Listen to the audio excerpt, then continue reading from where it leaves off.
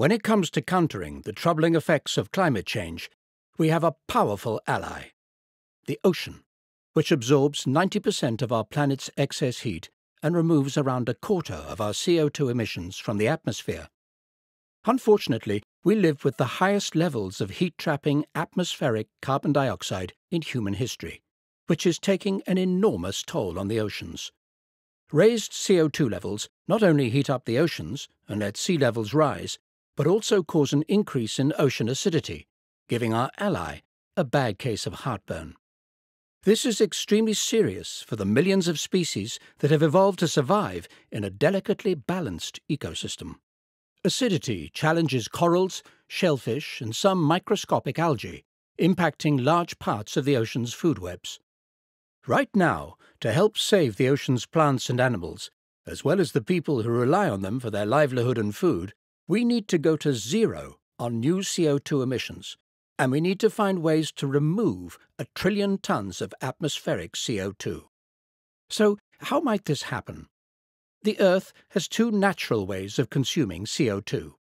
One involves the biological carbon cycle of photosynthesis that locks a portion of the consumed carbon into soils and ocean sediments. The second is part of a larger but much slower geologic carbon cycle where surface rocks weather with rain and atmospheric CO2 to produce alkaline carbon molecules that wash into the ocean. Think of it as the land giving the ocean a giant antacid that over long timescales also locks away billions of tons of atmospheric CO2.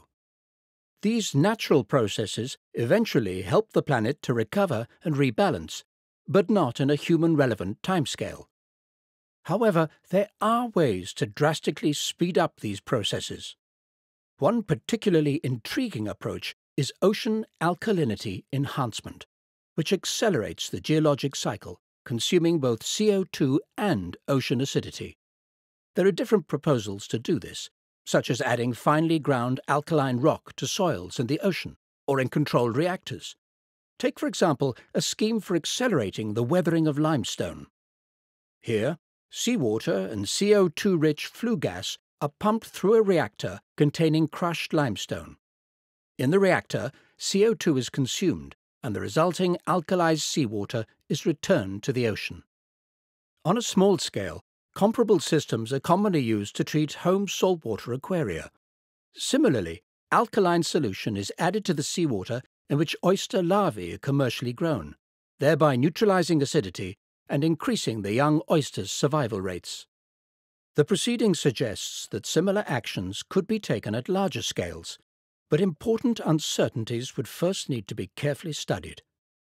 Can ocean alkalinity enhancement really benefit marine ecosystems by protecting them from ocean acidification? How will organisms and ecosystems respond to trace elements contained in alkaline rocks? As for cost, Initial assessments suggest that this approach can remove a ton of CO2 for as little as $10, well within an acceptable cost range. But at large scales, what are the true costs? And what are the wider economic, environmental, and societal consequences of such actions relative to benefits? It's time for a scientific assessment of all potential methods of CO2 and ocean acidity reduction, including ocean alkalinity enhancement to better inform policy and decision makers. Right now, a growing community of scientists, NGOs, government institutions, and entrepreneurs is forming around this important topic. To find out more, please visit our website